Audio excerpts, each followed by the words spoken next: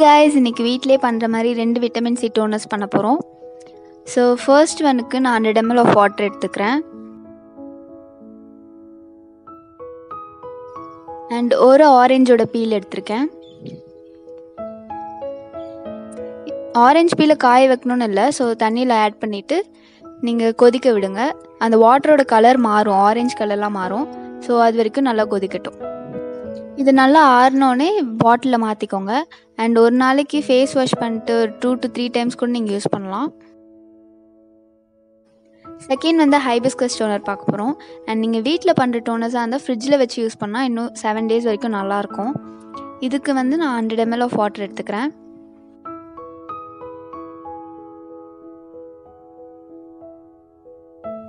இதுக்கு நான் ரெண்டு ஃப்ளவர்ஸ் எடுத்திருக்கேன். நீங்கள் ஒன்று கூட எடுத்துக்கலாம் உங்கள் இஷ்டம்.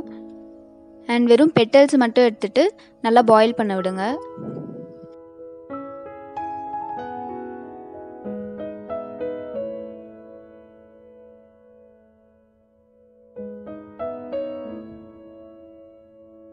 இந்த டோனர் வந்து பாயில் ஆகும் போதே வாட்டர் க்ரீன் கலரில் இருக்கும்.